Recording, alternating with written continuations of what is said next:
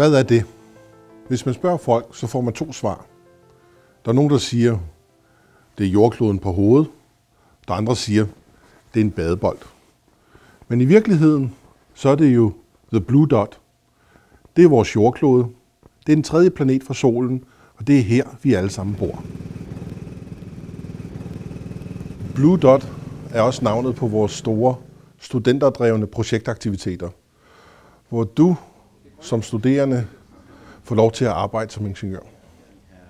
The Blue Dot er fortællingen om bæredygtighed.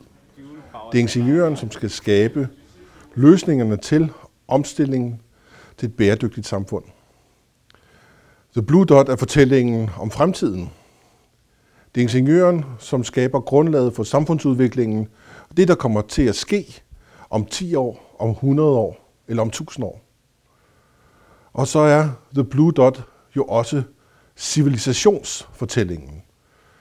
Ingeniørarbejde og civilisation har altid gået hånd i hånd. Og så er The Blue Dot også fortællingen om overblikket. Ingeniørens systemforståelse, evnen til at identificere problemstillinger, analysere og på et ufuldstændigt grundlag komme med løsninger, der kan håndtere de udfordringer, som samfundet står overfor. Alle disse ting indgår i DTU's Blue Dot-projekter.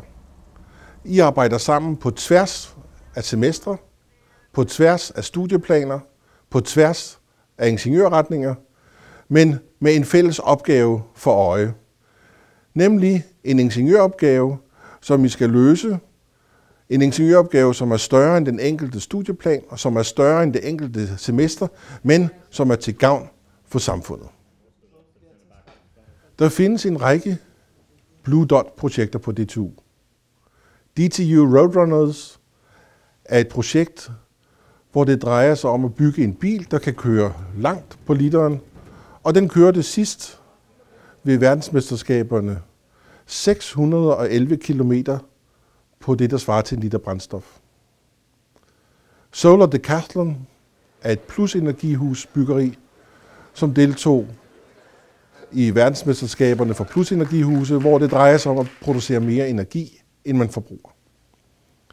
DTU SAT er et projekt, hvor studerende bygger en satellit, der skal være med til at spore gøens vandring fra den nordlige til den sydlige halvkugle. Sådan der.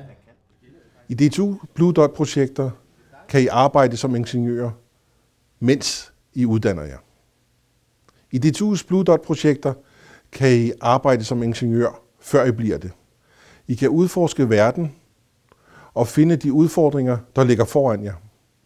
Og når I bliver færdige som ingeniør, så er I allerede erfarne ingeniører.